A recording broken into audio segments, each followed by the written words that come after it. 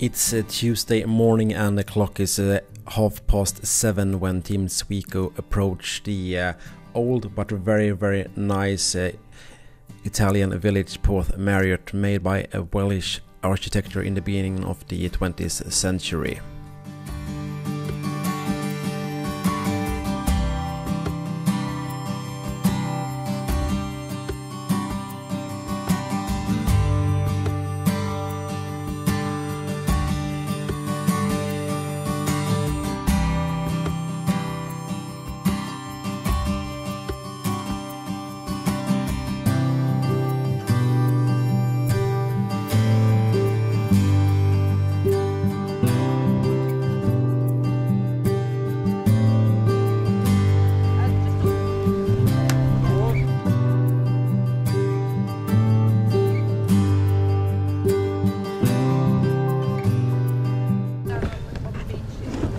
As always in adventure racing, great stories are made.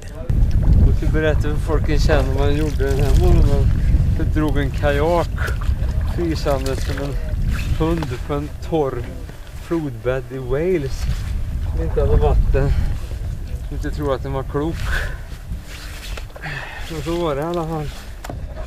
Yeah, this tide coming is, isn't great.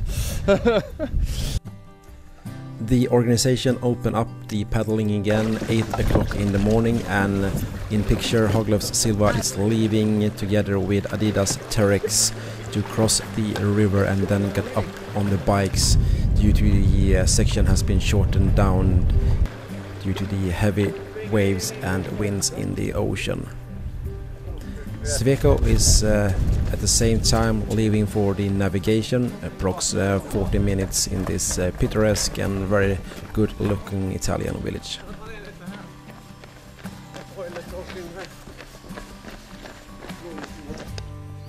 Eh, paddlingen hit? Eh, ja, det var ju låg, eh, lågvatten så vi fick ju Dra. fick dra kajakerna över sandbankarna här ett tag. Eh, och nu verkar ju tidvattnet ha vänt. Så nu blir det motströms till sista paddlingskontrollen. Får se hur det går. Det är riktigt tryck på vattnet.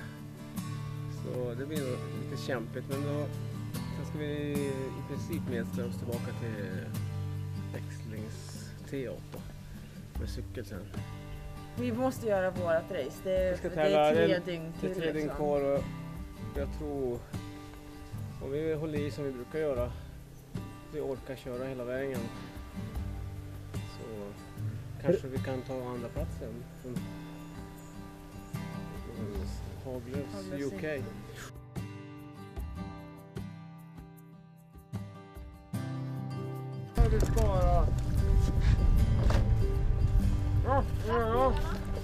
Around 8.35 Tuesday morning, Sweco has finished the uh, navigation in Portmeirion and heading out for the kayak stage.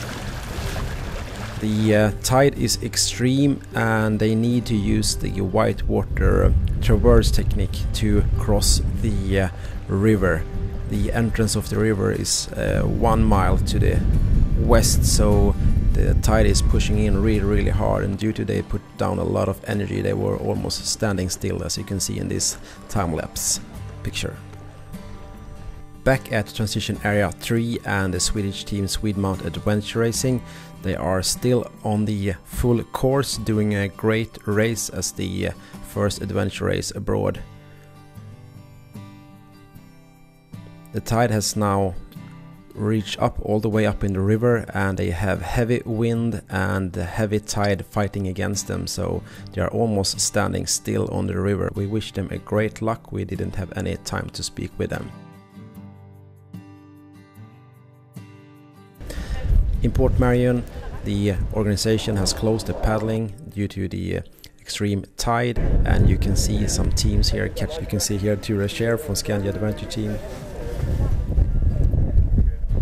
After the mountain bike section we are heading up in the mountains. And I will try to track with the teams on stage 5. See you then.